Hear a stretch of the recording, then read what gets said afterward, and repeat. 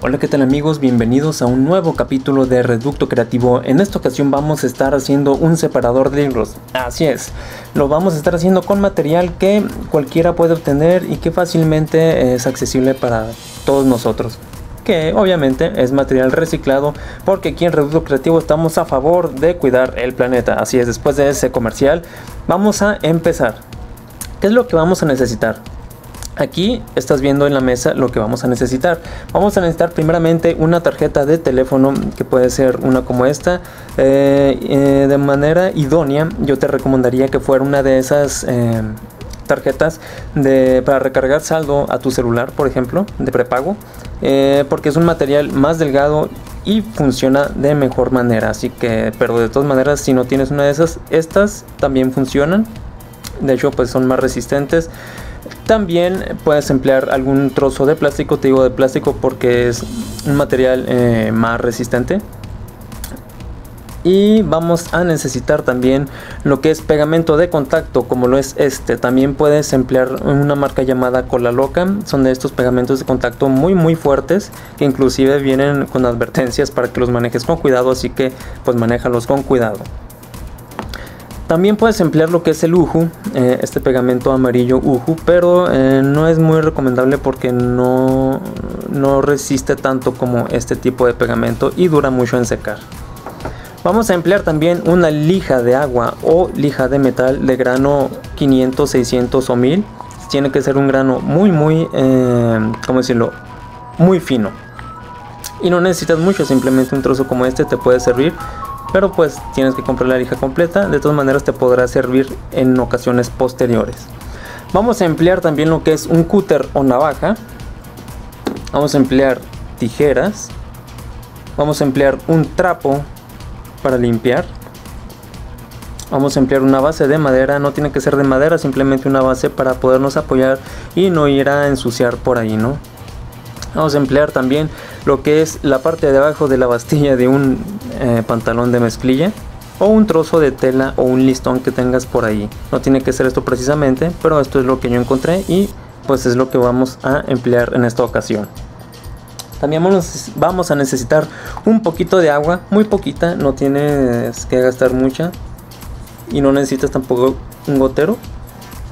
Simplemente necesitas un poquito de agua. Bueno, vamos a comenzar con el tutorial. Primeramente lo que vamos a usar, vamos a dejar esto un poquito de lado.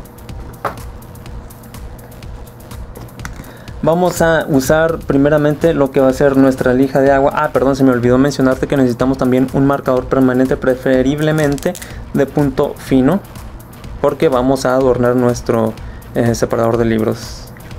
Bueno, ya que corregí eso, Vamos a emplear nuestra tarjeta o trozo de plástico y nuestra lija de agua. Supongo que ya sabes muy bien tú cómo se va a emplear esto. Solamente vamos a tomar un poquito de agua y vamos a esparcirlo sobre la superficie de, de nuestra tarjeta. Y vamos a comenzar a lijar para quitar lo que viene siendo pues la, la tinta, ¿no? El color y tiene que ser de grano fino precisamente para que tengamos un acabado pues más satisfactorio.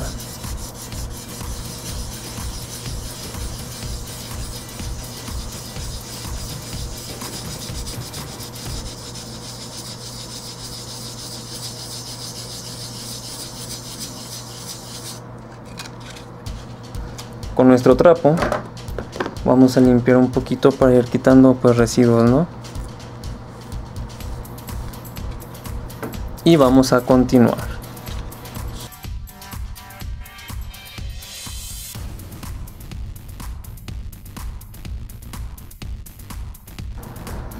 Muy bien perfecto. Ya tenemos ambos lados blancos. Vamos a darle un poquito con el trapo para limpiarlo pues vamos a secarlo con una toalla o algo, ¿no? Para que pues no quede tan tan húmedo. Y lo que tenemos ahora es esto, un pedazo de plástico al que vamos a hacer ciertos, ciertas intervenciones para poder lograr nuestro eh, separador de libros. ¿Cuál es lo primero? Bueno, primeramente la función de un separador de libros no es solamente indicar en qué página te, te quedaste, en algunas ocasiones va un poquito más allá y te indica exactamente en qué línea de la página te quedaste. Este separador de libros nos va a servir para eso. ¿Cómo? Bueno, hay una manera pues muy muy sencilla para hacer un indicador aquí que te va a decir en qué lugar de vaya de esa página te quedaste. ¿Cómo es? Bueno, tal vez tú ya dedujiste cuál forma es, pero aún así te la voy a explicar. Con un lapicero, un lápiz o algo que raye, simplemente vas a hacer una línea con algo recto. Vamos a emplear nuestras tijeras, por ejemplo. Y vamos a trazar una pequeña línea de lado a lado, muy cerca de la orilla. Uh, eso no funcionó. Muy bien. Yo aquí tengo esto. Con las tijeras no, no jalo bien. Entonces vamos a rayar aquí. Aquí puedes ver la línea. Ahora vamos a rayar aquí. Solamente esta pequeña parte. De manera que te quede así. Ahora vamos a hacer un pequeño triángulo partiendo desde esta línea hacia la orilla. Y lo mismo del otro lado procurando que el triángulo pues quede parejito si no queda parejito pues no importa pero de preferencia que quede parejito porque se ve más bonito. Te va a quedar de esta manera. Entonces como ya habrás deducido vamos a remover esta parte con el cúter para que nos eh, generar una muesca que nos indique exactamente en qué línea nos hemos quedado vamos a ver a continuación.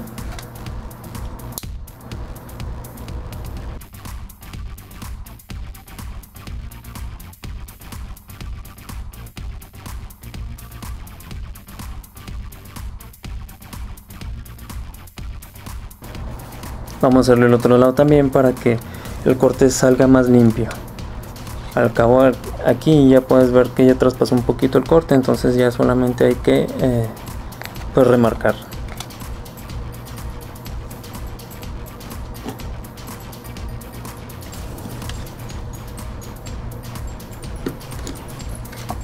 perfecto nuestro corte salió muy bien perfectísimo entonces esta parte de aquí es la que te va a indicar exactamente en qué línea te quedaste. ¿Cómo? Pues obviamente déjame mostrártelo. Poniendo que este es nuestro libro y tenemos ya nuestro separador por ahí, solamente vamos a poner nuestro separador justo en la línea en la que nos quedamos. ¿Ves? Y la punta nos va a indicar exactamente el renglón. De esa manera va a funcionar nuestro separador de libros. Ahora solamente vamos a dar una pequeña lijada a los cantos para que quede, eh, como decirlo, pues para que quede liso, liso, ¿no? Porque después del corte queda un poquito filoso y pues se siente desagradable y no se ve tan bien. Vamos a lijarlo rápido.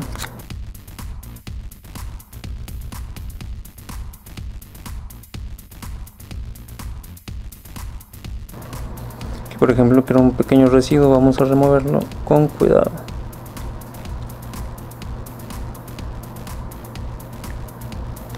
perfecto y vamos a continuar lijando para darle un acabado pues más más agradable.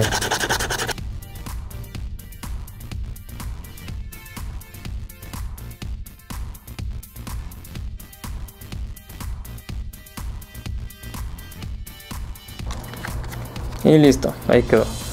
Solamente vamos a borrar después estas pequeñas líneas con un poquito de agua.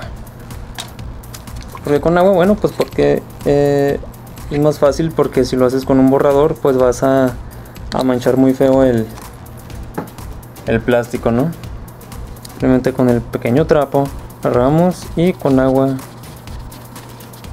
lo limpiamos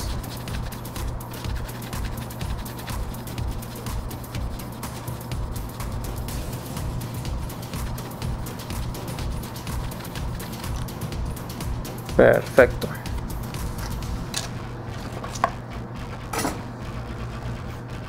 Ahora, posteriormente vamos a, proceder a lo que vendría siendo pues el adorno además vamos a añadir los pequeños mm, rasgos estéticos para que este pequeño separador sea más atractivo y sea más personal para cada uno de nosotros.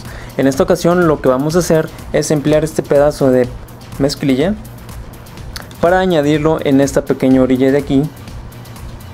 Va a quedar algo así, obviamente no va a ser todo esto.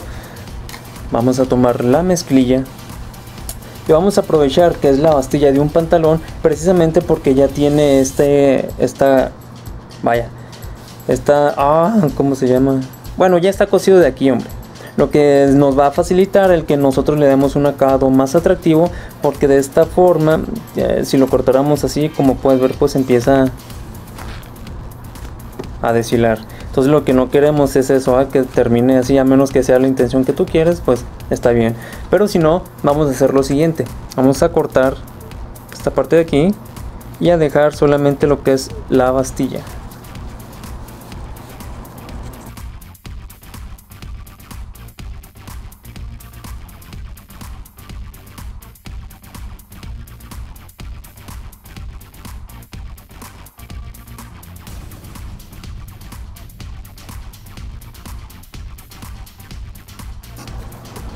Y vamos a obtener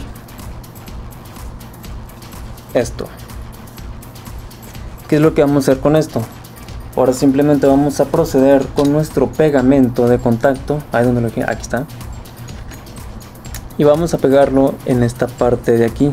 Vamos a poner el pegamento obviamente en el plástico digo perdón en, la bastilla porque si le ponemos en el plástico probablemente no sepamos exactamente la anchura de, esto. Y lo que va a hacer es que van a quedar eh, manchas no y no queremos eso. Lo que queremos es que quede muy muy bonito. Entonces simplemente vamos a proceder a abrir lo que es la bastilla. Por aquí. Y vamos a a pegarlo de la siguiente manera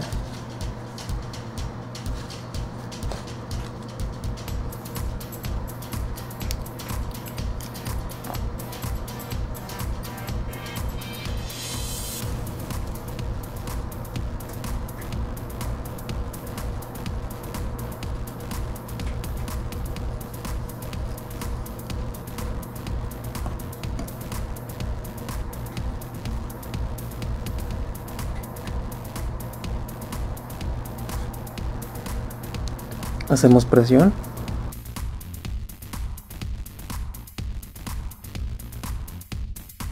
Solamente vamos a agarrar un poquito más para asegurarnos de que quede bien bien pegado.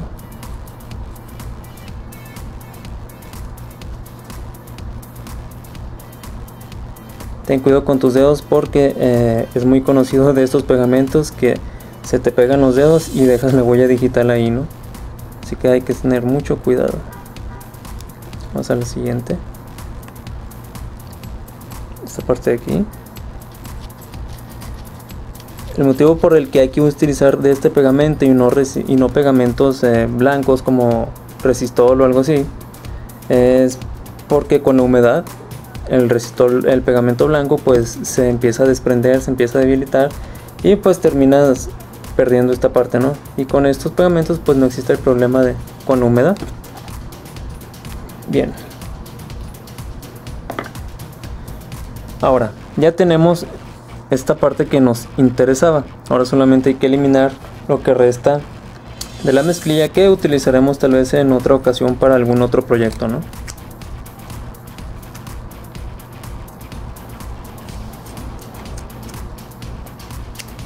Lo dejamos al ras para que tenga pues un acabado más pues no profesional, pero más decente, ¿no?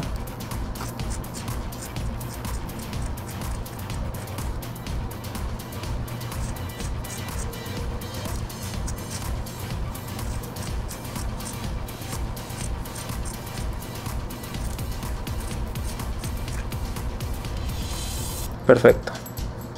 Ahí está. Ya tenemos casi todo nuestro separador de libros. Ahora, ya tenemos lo que vendría siendo nuestra base.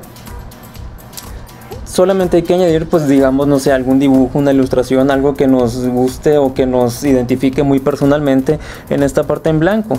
Precisamente eso es lo bueno de que esto sea blanco porque podemos emplear ahora el marcador permanente. Te digo es preferible de punto fino para que podamos darle más detalles a lo que nosotros queremos plasmar en esta parte de aquí. Pueden ser muchas cosas puedes emplear eh, vaya puedes ilustrar tu, tu propio separador puedes pegarle inclusive tal vez algunas cuentas puedes ponerle estampitas aquí o en la parte de atrás ponerle tal vez simplemente tu nombre y de esta manera pues va a ser 100% tuyo 100% personalizable. Así que ahora vamos a ponerle eh, a nuestro separador eh, algo que pues que nos, que nos identifique. En esta ocasión solamente voy a ilustrarlo rápidamente y te voy a mostrar pues cómo queda al final no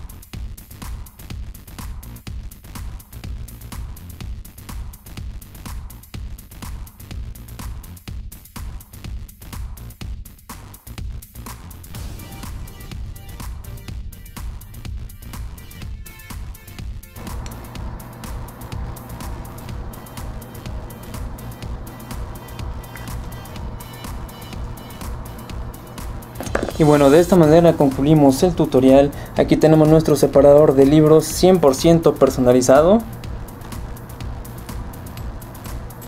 Que como puedes ver, pues no, no es lo mejor que la mejor ilustración que he hecho en mi vida, pero pues un poco conceptual, no es como un cerrojo porque los libros son la llave del conocimiento, ¿no? Entonces pues se meten el cerrojo y, y ese tipo de cosas, ¿no? Bueno, aquí también puedes aprovechar este pequeño elemento de la la tarjeta de teléfono para poder hacer algo tal vez incluso pues más tecnológico, ¿no? Eh, también puedes emplear la parte de atrás para hacer una pequeña ilustración, para adornarlo, para pegar estampitas, te digo, puedes poner cuentas, ya dependerá de tu creatividad. Esto puede ser un pedazo de listón, tal vez este otro pedazo de plástico, eh, no sé, pueden ser infinidad de cosas. Yo empleé mezclilla porque me parece que se ve atractivo y porque es un material que tenía disponible. A continuación vamos a verlo en acción en uno de nuestros libros.